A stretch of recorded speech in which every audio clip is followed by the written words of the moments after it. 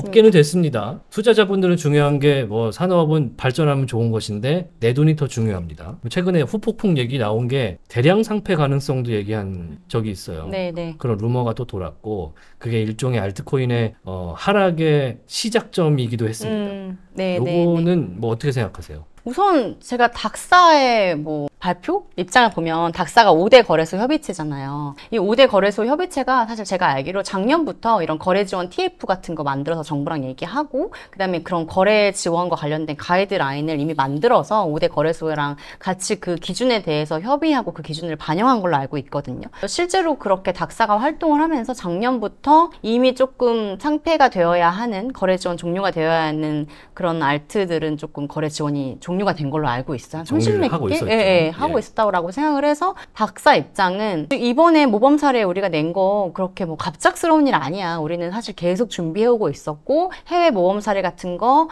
보면서 우리끼리 계속 얘기해가면서 당국이랑 계속 얘기하면서 그 기준에 맞게 우리는 상패를 조금씩 해왔어. 대량 상패 걱정하지 마. 만약에 근데 그런 거죠. 대량 상패를 지금 걱정하는 거라기보다는 어차피 이 가이드라인에 따라서 상패가 될 거는 상패 될 수밖에 없어. 라는 또 그런 생각 아닐까요? 뭐 이도저도 아니고 만들 수도 있다는 얘긴데. 그러니까 어차피 상패 될 거는 상패 될 수밖에 없고 음. 이번에 모범 사례가 나왔다고 해서 뭐 대량 상패가 되고 이런 건 아니야 라는 말 메시지를 남기고 싶으신 거 아닐까? 아 저는 그렇게 생각. 물론 뭐 닥사에서 모범 사례 관련한 가이드라인이죠. 네, 7월 초에 그거를 발표를 했고 많은 네. 분들이 찾아보셨을 텐데 그런 변호사 입장에서 그런 거를 보고 또 그런 가능성을 논하는 이야기들이 돌 때 그게 실제로 시전 가능하고 만약에 된다면 어떤 코인이나 어떤 잘못이 있는 것들부터 그러니까 너무 활동 없고 예를 들어서 거래량도 너무 안 나오고 그러니까 저는 그렇게 생각을 해요. 이건 제 정말 저의 사견입니다. 닥사는 당연히 이제 모범적으로 그걸 가이드 라인을 하는 데고 거래소 입장에서는 당연히 사업 영리 활동하는 사업자잖아요. 그렇기 때문에 뭐 상패를 예를 들어서 우리한테 너무 수수료에 도움이 되는 재단이야. 음. 근데 막 예를 들어서 약간 모호해라고 하면 우리한테 대부분 유리하게 해석을 할 거고 그렇죠. 그렇지 않을까요? 근데 이게 가격이 떨어져도 수수료가 생기는 어, 거고 뭐 그런, 네, 맞아요. 근데 생기니까. 그렇게 거래량이 되게 많고, 음. 예를 들어서 어떻게 좀 팬심이 있거나, 이런 알트들은 당연히, 아, 이거 상패하는 거 우리한테 별로 안 좋은데? 라는 판단이 들면 어떻게 가이드 라인을 우리한테 유리하게 해석하지 않을까라는 생각이 저는 들- 들거든요. 그게 자율규제. 물론 근데 그분들 그렇지 않으시겠지만, 네. 뭐 저라면 그럴 수도 있을 것 같아요. 근데 사실 거래량 너무 안 나오고, 약간 진짜 백서에 좀비 따르면, 같다. 예, 그러면은 사실, 근데 상패 가이드라인에도 부합해. 라고 하면은 상패를 안 할 이유가 있을까라는 생각도 저는 좀 들기는 해요. 그럼 그런 상패 가능성이 있는 것들 중에 우리가 흔히 아는 것들도 들어갈 가능성이 있을까요? 있겠죠. 근데 이제 그래서 저는 저의 개인적으로는 거래량이 너무 안 나오는 것들은 어. 저는 절대 언제든 상패가 될 수 있기 때문에. 그러니까 회사이기 때문에 네. 회사 입장에서 이제 가격의 등락 이런 걸 상관없이 활동성이 너무 떨어져서 사고도 좀 친 적이 있는데 어, 거래량이 그쵸. 없다. 네, 그러면 좀 위험할 수 있겠군요. 그럴 수 있죠. 그리고 백서에 따른 그런 단계적인 플랜 있잖아요. 음. 너무 안 하고. 어떤 거 계속 뭐 뉴스도 업데이트되고 그래야 되는데 그런 활동도 너무 없고. 음. 그러면 사실 question일 것 같아요. 약속을 지키고 있지 않으니까 투자자들과. 그러면 사실 지킬 명분이 더 없지 않을까요? 음. 너네 왜 백서대로 하나도 안 하고 너네 뭐 하는 거야? 약간 돈만 모으고 나서 아무것도 안 하잖아 라고 하면 사실 지킬 명분이 더 없지 않을까라는 생각이 들어요. 왜냐하면 오히려 시장에서는 우리가 있기에는 그래도 아무리 대량까지는 안 가도 상폐라는 가이드라인이 나와버린 이상은 일단 본보기는 있을 것 같다라는 음. 관측은 좀 존재를 하기 때문에 사실 작년 말부터 한 30 몇 개 정도 상패를 시켰다고 하니까 네. 이제 뭐 굳이 정말 알트를 많이 가지고 계신 분들이라면 그 전 사례들을 보면서 네. 이 30 몇 개의 공통점이 뭘까라는 걸 한번 가이드라인이랑 같이 보면서 좀 고민해 볼 수 있지 않을까요? 네. 적어도 알트로 돈을 좀 이렇게 투자를 크게 하시는 분들은 그런 공부 하시긴 하셔야 될 것 같아요. 네 좋습니다. 자 이번에는 이제 해외로 좀 눈을 돌려서 이야기를 해 보겠습니다. 비트코인이 일단 1월에 승인이 됐고요. 네. 이더리움은 뭐 어떤 이유인지 어, 승인이 1차적으로 됐습니다. 그런 거 보면은 크립토나 이제 블록체인에 대한 시선, 특히 미국 안에서는 좀 바뀌어 가고 있다 이렇게 판단해도 될까요? 네, 저는 미국에서 사실 굉장히 많은 변화가 일어나고 있다고 생각을 하고, 사실 그 현물 상장지수 펀드인 ETF가 간접 투자 방식인 거잖아요. 그 이제 거래소에서 우리가 투자자들이 비트코인을 이제 수탁을 해놓고 우리가 주식처럼 편하게 거래할 수 있는 건데 이런 게 금융 투자 상품으로 사실 나왔다는 것 자체가 사실 정말 저는 큰 진일보를 했다고 생각하고, 저는 사실 ETF 승인되고 나서 저의 그 포트폴리오에서 가상자산을 되게 올리긴 했어요. 제 스스로. 저처럼 보수적인 사람도 어떻게 생각을 했냐면 ETF가 나왔을 봤을 때 저 개인적으로는 물론 기관들이 더 투자를 안 할 수도 있지만 아, 이제는 돌아가기는 어렵다라고 저는 생각이 들었어요. 돌아가긴 어렵다. 그러니까 이제 비트코인이 뭐 빵 되고 이런 거. 네, 저는 그렇게 생각을 한 것 같아요. 아. 이제는 정말 전통과의 콜라보도 정말 훨씬 더 많아질 거고, 이제는 정말 금융 투자 상품으로서 어떻게 좀 자리를 잡았구나라는 생각이 전 들더라고요. 음. 그래서 뭐 말씀하셨듯이 홍콩 ETF 승인, 뭐 브라질도 그렇고, 영국에서도 ETN 이거 신청 승인 한다라고 하고 있고, 그래서 이렇게 되면 기관 투자자들도 사실 훨씬 더 많이 들어오잖아요. 기관 투자자 금액이 10조 원? 10조 원 달러? 어, 네, 10조 달러라고 했는데, 10조 달러의 1%만 사실 가상자산에 들어와도 이 시장 규모가 엄청 커지는 거기 때문에 그리고 뭐 일본 연기금도 얘기하고 있잖아요. 네. 그런 연기금에서도 뭐 세계에 있는 여러 나라의 연기금에서도 예를 들어서 ETF나 이런 걸로 어쨌든 포트폴리오를 만약에 하면 이 시장이 장기적으로 봤을 때는 클 수밖에 없지 않나. 되게 우리나라만 몰라서 그렇지 사실 되게 많은 변화가 일어나고 있지 않나라고 저는 생각을 하고 있습니다. 근데 저도 이제 관련된 이제 방송을 많이 했지만 느낌이 조금 다를 수도 있는 것이 비트코인 ETF가 금융 선물로서 굉장히 잘 팔리는 게 이제 그 crypto 업계가 크는 것이냐 아니면 그냥 금융 업계가 음. 크는 데 있어서 비트코인은 그냥 하나의 재료가 된 것이냐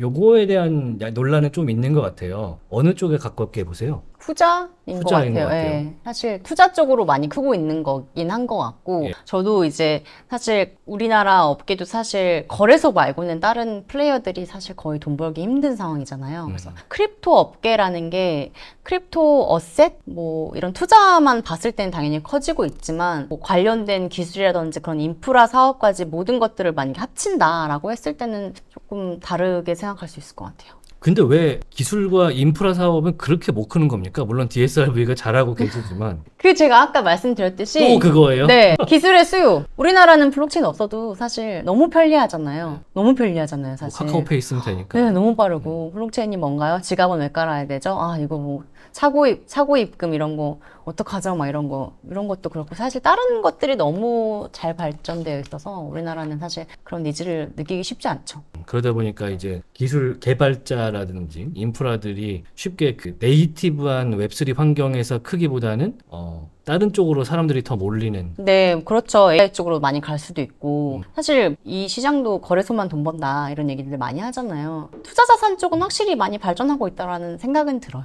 투자 자산 쪽은 확실히 발전을 하고 있다. 그래서 이제 금융시장 쪽에서 발전하는 크립토는 일단은 어느 정도 성장을 확실히 올해는 좀 많이 하고 있는 것 같은데 그래서 금융시장 얘기를 하다 보면은 미국 얘기를 하게 되고 미국 얘기를 하면 ETF 얘기했다가 갑자기 이제 미국 행정부 얘기를 네. 최근에는 할 수밖에 없는 그런 상황으로 좀 가긴 하는데 최근에 미국 조 바이든 어, 대통령의 방송 TV 토론회가 있어서 그게 좀 어, 아쉬운 모습이 좀 노출되긴 네, 했지만 네, 어찌됐든 맞아요. 행정부는 유지가 되고 있어서 좀 약간 피벗을 했어요. 약간 방향을 조금 틀은 느낌이 드는데 이 조 바이든 행정부는 어떤 관점에서 크립토를 보고 있는 것 같습니까? 사실 초기에는 이렇게까지 좀 가상자산과 관련돼서 나쁘게 하진 않았었거든요. 뭐 혁신 법안과 관련돼서 어떻게 할지 너네 숙제도 내줬었고 정부 부처들한테. 근데 작년부터는 확실히 좀 조 바이든이 가상자산과 관련된 부정적인 정책을 많이 내놓더라고요. 제가 알기로 작년에는 뭐 가상자산과 관련된 리스크를 완화하는 그런 가이드라인을 마련을 한다든지 근데 이제 리스크를 없앤다라는 자체가 이게 되게 위험 자산이라 라는 그런 베이스가 깔려 있는 것 같고 두 번째는 그 가상자산 채굴하는 사람들 채굴하는 사람들 비트코인 채굴 이 사람들 이제 그 전기에 관련된 과세 네. 30% 과세한다 라는 그런 법안도 이제 있었고 그다음 내용의 예산안도 발표를 했었고 또 그 회계 규칙 그 들어본 적 있으실지 네. 모르겠지만 그것과 관련돼서 이제 SAB 121이라는 것도 그거를 무력화하는 법안에 대해서 거부권을 행사하기도 하고 또 최근에 가상자산 그 친화적인 법안이라고 불리는 FIT 그 121, 네. 아니 21 이거에 대해서도 행정부 자체가 SEC랑 같이 아 이거 반대한다. 라고 되게 반대하고 있는 걸로 알고 있고요. 이에 비해서 트럼프는 나는 가상자산 대통령이 되겠어. 약간 이런 반대적인 행보를 보이고 있고. 근데 최근에는 또 기사 나오는 거 보니까 이제 바이든이 어쨌든 대통령 선거에서 이겨야 되니까 후원 가상자산으로 받겠다. 그리고 이제 가상자산 친화적인 그런 정책을 고수하는 분들을 이제 어드바이저를 모셔가지고 자기가 좀 배우고 있다. 뭐 이런 기사도 좀 종종 나긴 하는데 저는 그거는 진짜라기보다는 지금 약간 이벤트성 아닌가라는 생각이. 이벤트가 많이 필요한 타이밍이 상황이 네, 그쵸. 아, 네. 좀 너무 힘들어 보이 기운이 없어 보이세요. 힘을 좀 많이 내셨으면 하는 네. 그런 바람도 있는 것 같은데. 그럼 일단은 바이든 대통령과 바이든 행정부 자체에서는 crypto를 그렇게 뭐 유쾌하게 보지는 않는 거는 뭐 모두가 잘 알고 있는 것 같은데 네. 왜 그렇게 보는 것 같아요? 위험 자산이라는 전제 자체가 딱 있는 것 같아요. 위험 자산이다. 그래서 그 법안을 한번 그 살펴보면은 디지털 그 뭐야 자산 채굴. 너네 너무 전기 너무 많이 쓴다. 이렇게 전기 많이 쓸 거면 이거에 대해서 과세해. 너무 너네 친환경적이지 않아라는 것도 있었고 그 다음에 그 SAB 121 그 법안 같은 거 보면은 이제 암호화폐를 보유하고 있는 그 기업이 회계 지침에 따라서 이제 대차 대조표에 부채랑 자산으로 넣어야 되는데 은행이 예를 들어서 이렇게 암호화폐를 수탁을 하고 있고 부채와 자산으로 넣을 때 그 은행들은 바젤 3에 따라서 그 위험 자산에 따라서 가중치가 달라지거든요. 네. 그래서 추가 자본을 조달을 해야 되는데 crypto를 보유하고 있으면 대부분 뭐 최소 100%에서 12.5배 추가 자본을 조달을 해야 되는 거예요. 12 왜요? 네, 1250% 가- 위험 가중치로. 그럼 이제 이거는 은행 같은 경우는 crypto 하나 보관하고 있다가 정말 12.5배요? 약간라고 하면은 이거를 할 이유가 없잖아요. 그래서 그러니까 우리가 이제 자기 자본 비율 뭐 이런 거 얘기할 네, 때 나오는 맞아요. 비율을 맞아요. 크립토를 넣으면은 어, 12.5배를 맞아요. 추가 자본을 추가 조달을 해야. 되는 거예요. 원래 누가 그 합니까 그거를? 그러니까요. 그래서 이제 이런 거 자체가 야 하지 말라는 거 아니야? 라고 하는데 그 베이스에는 아 가상 자산은 위험 자산이니까 위험 은행의 건전성을 해하는 것들에 대해서는 우리가 자본을 빵빵하게 확보를 더 해놔야 음. 은행의 건전성에 해를 가하지 않지 라는 그런 이제 마인드가 있는 거죠. 참 이게 위험하다는 기준이 주관적이고 객관적이지 못해서 이제 바이든 행정부나 SEC의 움직임에 대해서 비판을 가하는 거 아니겠습니까? crypto 진영의 일종의 뭐 전쟁을 선포한 게 몇 년 됐고 작년 6월부터는 이제 코인베이스랑 바이낸스 상대로도 전쟁을 시작을 한 상황이고 뭐 리플과의 소송은 정말 유명한 사례고요. 그러다 보니까 좀 어, 시장이 혼탁해지는데 굉장히 일조를 하고 있는 게 바이든 정부이기도 하고. 근데 그 위험하다는 컨셉의 기조 중에 하나가 증권인 것 같아요. 네. 이거를 이해하는 것도 상당히 중요할 것 같습니다. 이제 네. 어떤 점 때문에 대체 이제 crypto 혹은 crypto를 거래하는 회사, crypto 중개를 하는 뭐 거래소 이런 쪽의 증권이라고 그러는 거예요. 음, 제가 쉽게 말씀드릴게요. 그 미국 국가 같은 경우는 역사적으로 봤을 때는 그 여기는 판례법이거든요. 음. 그래서 케이스가 쌓이면서 어떻게 기준을 하는 건데 거긴 판례법이 우리 뭐예요? 성문법. 성문. 예, 써 우리는 있는 네, 써 있는 거. 예, 오케이. 어. 근데 이제 미국 같은 경우에 Howey 테스트라고 Howey 그 오렌지 농, 농장이 있었어요. 근데 그 농장이 사람들한테 돈을 모아가지고 내가 오렌지를 잘 키워가지고 여기서 돈이 나오면 너네한테 돈을 줄게라고 했는데 그게 증권이라는 거예요. 그 투자. 장사 잘 되면 돈 나눠줄게. 어 맞아요. 근데 거기에 핵심이 뭐냐면은 그거를 investment contract라고 해서 투자 계약이라고 하는데 이익 분배예요. 이익 분배. 그래서 crypto의 가상자산의 판매 방식이 이익 분배라는 거예요. 어떻게요? 우리가 이제 코인 재단이 열심히 하면 열심히 해서 우리가 재단에 열심히 하는 걸 보고 우리가 투자를 해서 재단이 열심히 하면 우리가 이익을 분배받을 거야. 음. 투자 금액이 오를 거야. 라는 이 기대 자체가 이 모든 것들이 바로 그 하위 테스트처럼 증권의 형식을 그대로 빌리고 있다라고 하는 거죠. 그래서 가상자산은 증권이다. 라고 이제 봐서 A씨가 사실 이 논리로 굉장히 많은 재단들을 공격하고 이 공격한 것 때문에 많은 재단들이 이제 상장 뭐 자기네가 아예 접은 경우도 있고 벌금을 낸 경우도 있고 사실 리플도 마찬가지거든요. 리플 재단이 너네가 리플 재단이 열심히 할 것 같으니까 우리가 투자를 하고 열심히 하면 실제로 성과를 내면서 그거에 따라서 우리가 투자 이익을 분배받는다. 이건 증권이야. 증권이면 당연히 증권법을 따라야지라고 하면서 이제 소송을 건 거죠. 그런데 여기서 저는 항상 궁금했던 게 물론 그런 투자 계약 증권이라는 그런 카테고리 안에서 증권이니까 너희들이 뭘 해야 되는데 등록을 안 했어 이래서 소송을 거는 거잖아요. 네, 맞아요. 그러면은 crypto 업체들이 증권이 될 수는 없나요? 혹은 증권이 되면 안 되나요? 어, 될 수 있죠. 네. 크립토가 가상자산이 될 수 있고, 그래서 NFT 같은 것도 가상자산이 될 수 있어요. 근데 당국은 가상자산이 증권, 그러니까 증권이라면 증권법에 따른 증권 발행 신고서 같은 거 다 떼고 규제를 지켜 이런 음. 거죠. 그럼 크립토들이 코인을 발행하거나 그런 거 할 때는 그런 증권법에 따른 그런 절차를 지키기가 힘든 겁니까? 어, 쉽지 않죠. 쉽지 않고 사실 그런 증권을 통해서 자금을 조달하는 것보다 훨씬 더 증권, 그러니까 자본 조달하는 게 쉬워서 이제 성행했던 게 ICO였던 거기 때문에 네. 사실 그 증권법의 그 규제를 준수한다는 게 쉽지는 않은 것 같아요.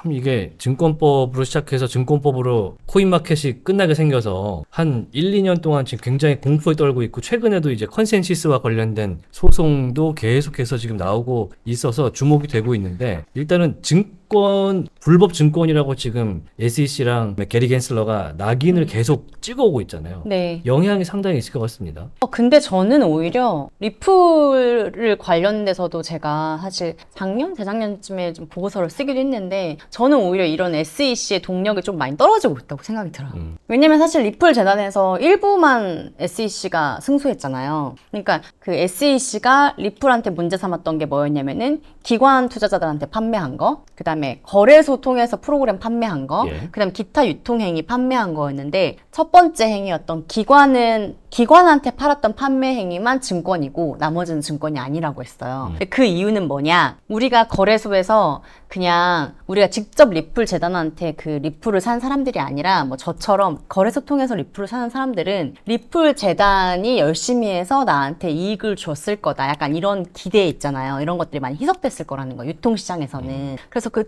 일부에 대해서만 리플한테 이제 패소를 시키고 나머지는 리플이 승소했거든요. 이렇게 되면은 사실 SEC도 힘을 많이 잃거든요. 그리고 바이든 정부에서 요즘에 같이 SEC랑 으쌰으쌰 가상자산 싫어요라고 했지만 대선 나오면서 또 이제 상하원에서 또 디지털 자산 관련된 혁신적인 법안들 나오고 이러면서 저는 조금 힘을 많이 잃었다는 생각이 좀 최근 들어요. 들어서는. 네, 최근 들어서 많이 좀 잃었다는 생각이 들고 SEC가 이제 이번해 4월에 재판이 다시 이제 재개가 됐는데 20만 20억 달러 벌금 내라고 해 20억 달러 벌금을 뭐 1억 달러 정도로 깎아주겠다. 근데 리플이 거부했어요. 아 우리 지금 소송 비용만 2억 달러 지출했는데 우린 그것도 못 내라고 해서 이제 사실 SEC도 정부잖아요. 정부 재단이 그렇게 소송해서 지면 앞으로 어떻게 계속 그렇게 재단들한테 할 수 있나라는 생각이 좀 들고 이런 것들을 기화로 인해서 이제 더 이상은 디지털 자산을 증권이다 증권이 아니다라고 보는 그런 오래된 잣대로 보지 않고 새로운 잣대가 나오지 않을까라고 저는 생각을 하고 그런 것과 관련된 법안이 또 최근에 나왔더라고요. 네. 그래서 저는 그 법안이 진짜 만약에 어, 전향적으로 통과가 되면 이제 이러한 것들은 이런 리스크는 많이 해소되지 않을까요? 그리고 리플도 사실 뭐 최근에 stable coin 만든다고 막 그러잖아요. 사실 그런 거 자체가 자기네가 이런 법률 리스크가 많이 해소됐다는 방증인 것 같아요. 이제 우리 벌금 이만큼 내고 우리 앞으로 활동하는데 문제 없어라고 생각을 하니까 우리 stable coin 만들겠습니다. 약간 이런 발표도 하는 것 같고 그래서 예전만큼은 SEC가 막 그렇게 무차별적으로 공격을 할 수 있을까라는 생각이 저는 개인적으로 좀 들어요. 뭐 하나씩 건들고 이런 거는 있어 보이긴 하는데 네. 전면전을 선포하고 어, 거액의 소송전을 펼친다. 이건 더 이상 좀 어려울 것 같다. 네, 리플에서 완전 사실 세계가 주목하는 저는 소송이었다고 생각하거든요. 네. 근데 보기 좋게 사실 좀 졌잖아요. 네, 현재는 그러면은 지금 합의를 위한 과정에 있는 겁니까? 네, 어, 저는 이제 지금 어느 정도 거의 마지막 단계라고 생각을 하고 거의 이번 해 안으로 끝날 것 같다고 그 CEO가 얘기하더라고요. 네. 그래서 저는 이번 해 안으로 잘하면 끝날 수 있지 않을까라고 생각하고 있습니다. 네. 뭐 대선도 남아 있어서 만약에 게리 겐슬러 같은 경우는 민주당 정권이 정권을 잃게 되면 어떻게 되는 겁니까? 바뀌지 않을까요? 소송전은 뭐 남아 있겠지만 유야무야 되나요? 그- 그 수장이 바뀌면 저 네. 정책도 바뀔 수 있다고 생각이 들어서 소송은 물론 당연히 끝까지 가겠지만 규제 당국과 재판부의 입장, 사법부의 입장은 또 다른 거기 때문에 좀 게리 겐슬러 물러날 수도 않을까. 우리 그것도 커무니 없어. 우리는 뭐 얼마 이상으로 내지도 못해라고 하면서 지금 약간 예전에 비하면 굉장히 당당한 모습으로 저는 소송에 임하고 있다고 생각합니다. 아, 그냥 버티기 작전으로. 네, 소송에 좀 그렇게 당당한 입장으로 생각을 하고 있고, 어, 당당한 입장으로 고소하고 있고, 학교가 나와가지고 우리 좀 있으면 끝날 것 같아요 라고 하는 것 자체가 실제로 좀 저는 너무 오래 끌었잖아요. 네. 그래서 이제는 사실 뭐 리플 가격도 이제 어느 정도는 그런 사법 리스크가 좀 해소됐다고 한 80%는 봐야지 않나라고 저는 개인적으로 생각하고 네. 있습니다. 리플의 사법 리스크가 80% 정도 해소되어 가고 있다. 사실 이 소송이 코로나19가 발발했던 때부터 왔어요. 음, 그러니까 진짜 3년 지겹죠. 이상 그. 소송이고 네. 어, 리플 투자자분들은 물론이거나 거니와 정말 이 알트코인 투자하신 분들의 그 센티멘트를 막 제한하는 그런 요소로 맞아요. 수년간 작동을 해왔기 때문에 좀 지겹다. 어, 그래서 맞아요. 빨리 해결돼야겠다. 네.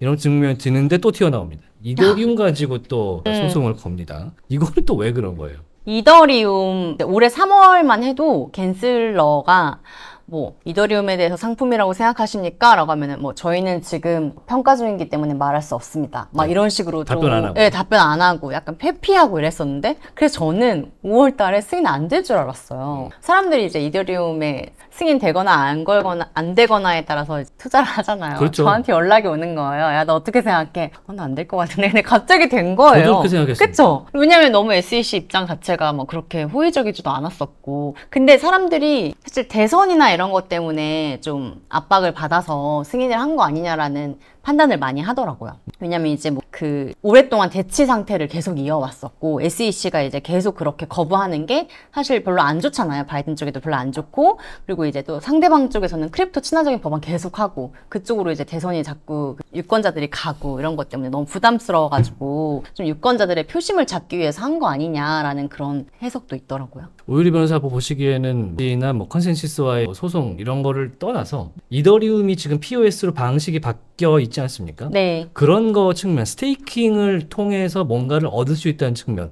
이런 걸로 봤을 때 만약에 재판부나 SEC라면 증권으로 보시겠어요? 아니면 그냥 그런 건 아닌 것 같아라고 보시겠어요?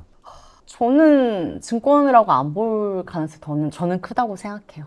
왜 그렇습니까? 투자하고 계시니까? 저는 이렇게 말하면 또 댓글이 엄청 올라올 거기 때문에 저의 희망을 담은 네. 네, 증권이라고 보지 않을 거다라는 생각이 저는 있기는 해요. 왜냐하면 사실 저는 왜 그렇게 생각을 하냐면 전통적인 증권의 그 잣대에서 봤을 때는 당연히 증권이라고 볼 수도 있겠지만 스테이킹이라는 거. 아, 네, 네. 근데 최근에 이제 미국에서 들어오는 그런 법안들이 이제 더 이상 그러한 오래된 잣대로 뭐 증권이냐 이런 거를 판단하지 않고 다른 잣대로 이제 증권과 상품을 구별하고 있 기 때문에 저는 이더리움도 뭐 옛날처럼 무조건 증권이다 약간 이런 주장이 통하지 않을 거라고 생각을 해요. 기조가 바뀌고 있다고 저는 생각을 하거든요.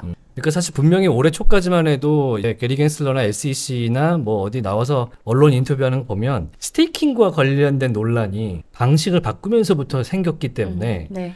또 이런 또 거기다가 굉장히 독점적으로 많은 양의 그 이더리움들을 몇몇 프로토콜이 가지지 않습니까? 음, 네. 이런 부분들을 지적했었는데 ETF를 1차 승인을 하면서 그니까. 갑자기 화전양면 전술을 쓰는구나 라는 판단이 들었는데요. 그런데 하원에서 또 방금 말씀하신 대로 법안이 또 신기한 게 하나 이름이 화려한 피트 맞아요. 21이라는 것인데 무슨 미래를 위한 혁신 금융과 관련된 법- 법률 맞아요. 아, FIT 21인데 이게 Bill Financial Innovation and Technology 21세기를 위한 법안이거든요.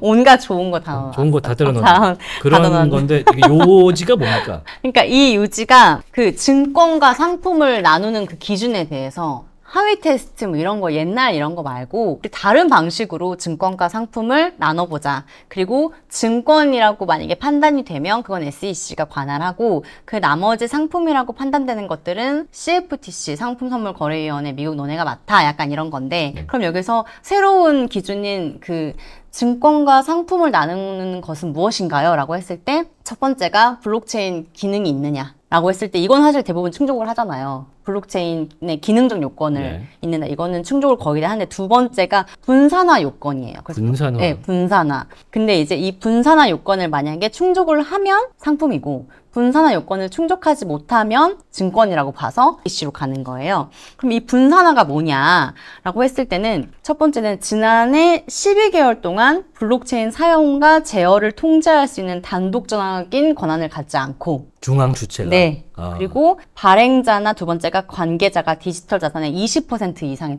통제. 어 중요합니다. 네, 20% 이상의 거버넌스 투표를 갖고 있지 않으면 이거는 분산화가 된 거야. 어. 그럼 사실 저는 굉장히 많은 altcoin이 상품이 될 수 있다고 생각하거든요. 그러니까 발행사나 혹은 개발사나 네, 네. 뭐 이런 관계자나 투자사가 다 20%. 합쳐서 20%만 안 넘으면 이건 통제하자. 상품으로 간다. 분산화 분산화 되지 않으면 분산화 된 거죠 그러면. 예, 예. 그리고 블록체인 기술 기능은 당연히 있고. 그럼 그 상품이야. 그럼 CFTC 그럼 사실 이전에 종전에 그 오래된 잣대로 증권이나 상품이다라고 했던 거 다 날아가면 사실 알트코인들한테는 굉장히 호재죠. 저는 그래서 이 법안이 너무 획기적이고 역사에 진짜 큰 획이다라는 생각이 들더라고요 이게 물론 아직 어 아직 멀었지만 아직 모르는 건 이제 뭐 상원 가야 되는 네, 맞아요. 말씀이시죠? 상원을 가야 되기 때문에 아직 멀었지만 어, 그래도 이 법안이 만약에 정말 통과가 된다면 우리가 지금 몇 년 동안 뭐 Howey test 얘기하면서 증권이네 아니네 지금 얼마나 애지 많은 소송했어 이제 뭐 그런 것도 없지 않을까요? 그러니까요. 훨씬 다른 기준이 되는 거죠. crypto나 뭐 코인, 블록체인 얘기를 하면서 오렌지 농장 얘기를 하는 게 사실 좀 맞아요. 거시기 했거든요. 네, 그 1960년 엄청 오래된 얘기거든요. 그래서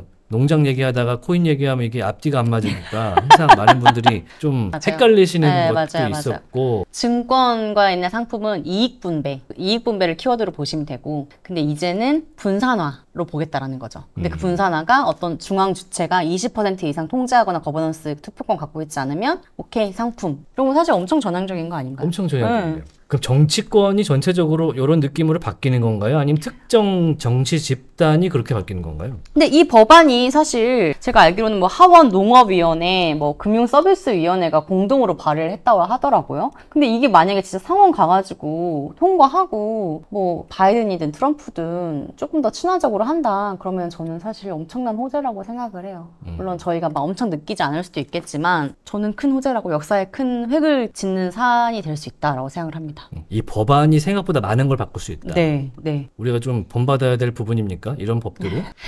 어, 사실 지금 우리나라의 모든 법률 뭐라고 해야지 가상자산과 관련된 규제도 지금 딱 그러거든요. NFT가 그렇고 첫 번째 증권인지 아닌지 정확하게 봐. 그 다음에 증권이면 자본시장법. 가상자산이면 가상자산 이용자 보호법 뭐 이런 식으로. 예, 특근법이든 그렇기 때문에 사실 우리의 그런 법에 대한 기준이나 이런 것들이 미국을 완전 많이 차용하고 있단 말이에요. 근데 만약에 미국에서 이런 식으로 하면 우리도 좀 친화적으로 바뀔 수 있지 않을까라고 생각이 드는데 아직 먼 얘기긴 하겠죠. 자, 마지막 질문을 좀 드려야 될 것 같습니다. 어찌됐든 규제 변화가 분명히 있고, 미국이 그렇게 바뀌고, 유럽에서는 지금 MiCA가 시행이 된 걸로, 어, 보이고요. 그러면 우리나라에서도 이용자 보호법이 7월 19일부터 시행이 되는데, 이런 변화 속에서 투자자들이 좀 유의하거나, 좀 어떤 걸 좀 주목했으면 좋겠다. 어떻게 투자를 해야겠다. 이렇게 생각하는 바가 있으신지요? 투자자들 입장에서는 사실 뭐 altcoin 상폐되는 것들, 뭐 예를 들어서 그 altcoin의 관계자들이 가상자산 이용자법의 불공정 거래 이런 것들에 가담될 수도 있잖아요. 본의 아니게 갑자기 재단의 뭐 컨트롤 타워가 구속이 된다든지 뭐 이런 일이 당연히 없- 없으면 좋겠지만 이렇게 뭐 혹시 뭐 소비되는 그런 알트코인들 그런 추이 한번 살펴보시면 좋을 것 같고 그리고 저는 업계에 계신 분들 같은 경우는 이 이용자 보호법의 그 처벌 대상에 해당되지 않도록 좀 각별히 조심을 하셔야 될 것 같고 그다음에 NFT나 이런 사업 하시는 분들도 이제 이번에 가이드라인 나왔으니까 어, 불법적인 요소 없도록 좀 재편을 하시던, 하신다든지 약간 이러면 좋을 것 같고요. 그리고 개인적으로는 저는 미국 대선 너무 궁금하긴 합니다. 음, 누가 할 것 같아요? 저요? 그냥 일을 잘할 수 있는 사람이 됐으면 좋겠는데 너무 신기하게 이렇게 둘 다 여기까지 하겠습니다. 어, 재밌는 대선이라고 하긴 좀 그렇지만, 네, 네. 고령의 어, 후보들이시니까. 저 진짜 걱정되긴 해요. 뭐 아프면 어떡하나. 아, 그런 쪽으로? 아니 진짜 너무 격무잖아요. 네. 대통령이라는 게 진짜 격무인데 아프면 어떡하지? 할 수 있을까? 미국이 얼마나 크고 사안이 많은데 약간 그런 걱정은 좀 드는 것 같습니다. 네, 글로벌적인 사고를 갖고 계신 오유리 변호사와 이번 시간 함께했습니다. 뭐 DSRV도 지금 많은 지금 발전을 하고 있고 여러 가지 우리나라 최전방에서 crypto 산업을 이끌고 있기 때문에 거기서 또 법무 총괄을 하시는 우리 오유리 변호사 주목해 주시면 감사하겠습니다. 오늘 말씀 고맙습니다. 네, 감사합니다. 감사합니다. 미래돈을 만나보는 퓨처머니 다음 시간에 뵙겠습니다. 안녕. 안녕.